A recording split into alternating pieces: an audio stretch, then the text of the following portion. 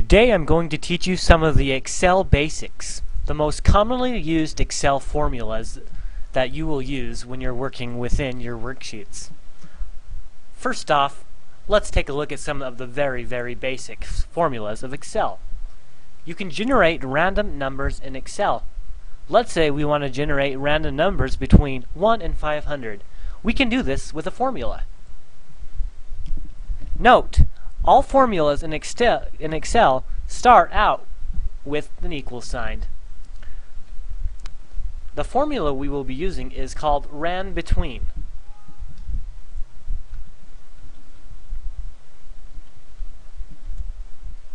Now we need to specify the values.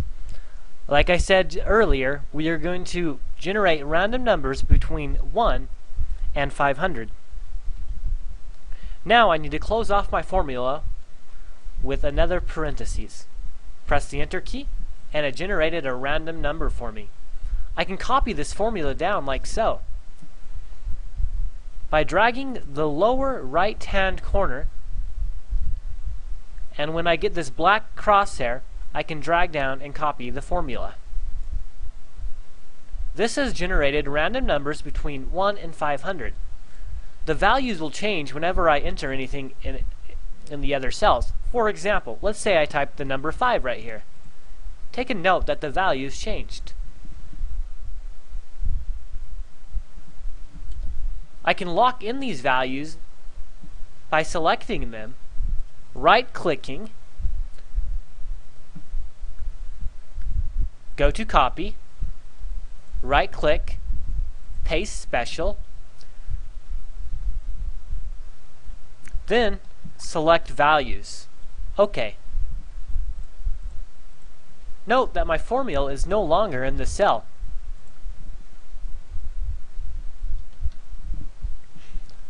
Here's a very common formula in Excel, the sum function. Here's how it's done. Equals sum. Now you need to specify a range. I'm going to add all these numbers that I just generated. That is my total. I can change the formatting on the cells by right-clicking and go to Format Cells. I can use numbers, currencies, accountings, or other special formatting to my text. I can also specify the number of decimal places when I go to Format Cells dialog box. Now, let's find the average of these numbers. Once again, I'm going to enter equals average. Then I'm going to select this range. This generated an average for me. Max. Max will allow me to find the largest number between these values. This is quite useful if you have um, if you're dealing with a lot of numbers in an Excel document. Once again, I'm going to select the range. My max number is 364. Median equals median. Once again, I'm going to use the values.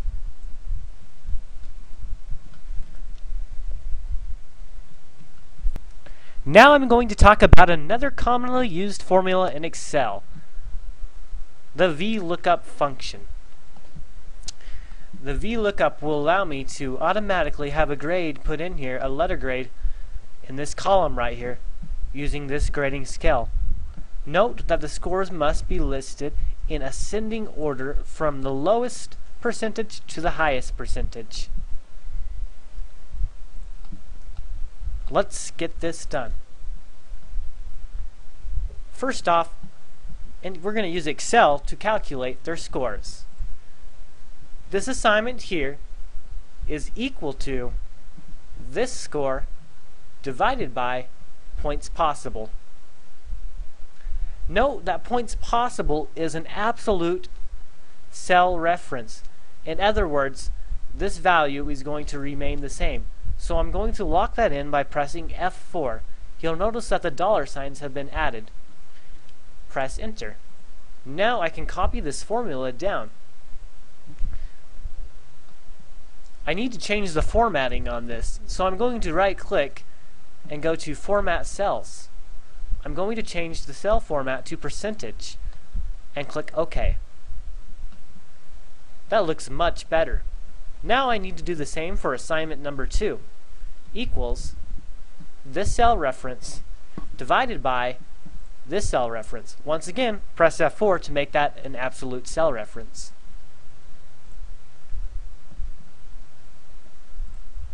Then I'll drag the formula down, right click, format cells, and choose percentage.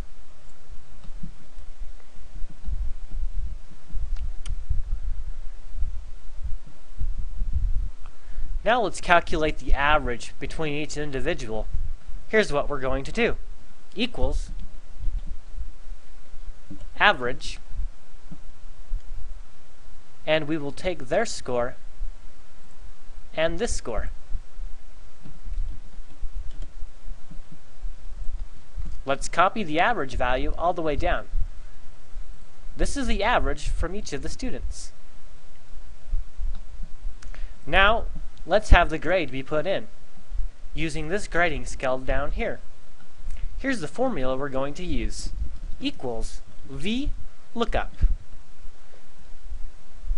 Okay? The lookup value is this table right here. Make sure you select both columns. Exclude the grading scale title though.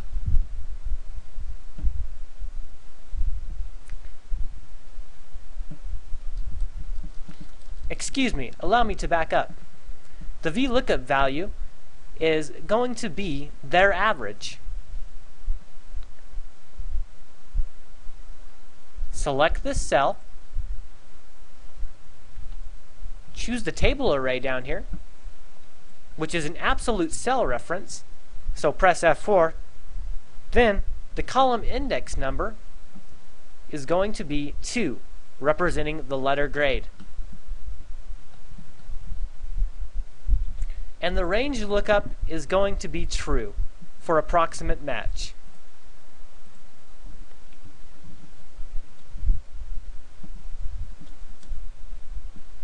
Let's drag this formula down to see how it works.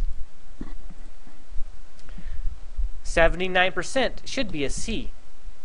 Indeed it is. Our grading scale is working. Great.